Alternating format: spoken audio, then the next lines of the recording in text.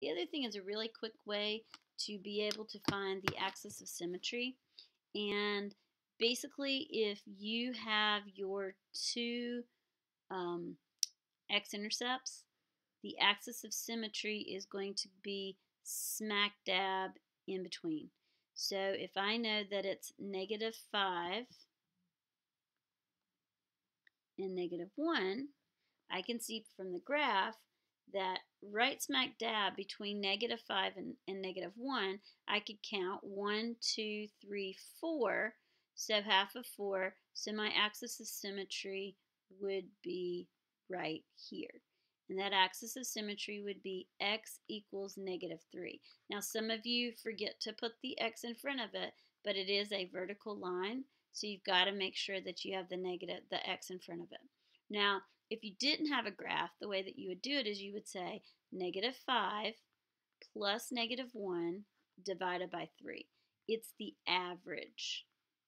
Okay, so negative 5 plus negative 1 is going to give you negative 6 divided by ah, not 3, divided by 2, sorry, and then that's going to give you negative 3. But again, don't forget to put the x is equal to in front of it.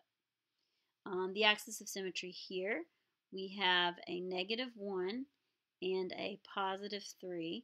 So if I count 1, 2, 3, 4, in between we get x equals 1. We can also do negative 1 plus 3 divided by 2 that gives me 2 divided by 2, so that also gives me x equals 1. Even if it opens down, it works the exact same way. And so this one, smack dab between 1 and 3 is 2. So the axis of symmetry on this one is x equals 2. If we didn't have a graph, we would do 1 plus 3 divided by 2. And so that gives you 4 divided by 2, so x is equal to 2. That's your axis of symmetry. Um, again, this one says that it's 3, and the way that we can do it is 1 plus 5 divided by 2. That gives me 6 divided by 2, so we got that x is equal to 3.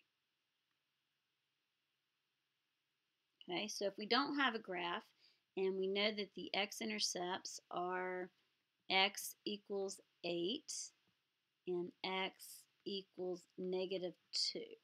What we're going to do is we're going to say 8 plus negative 2 divided by 2. So 8 plus negative 2 is 6, divided by 2 is 3. So our axis of symmetry is x equals 3. So you can do it without the graph.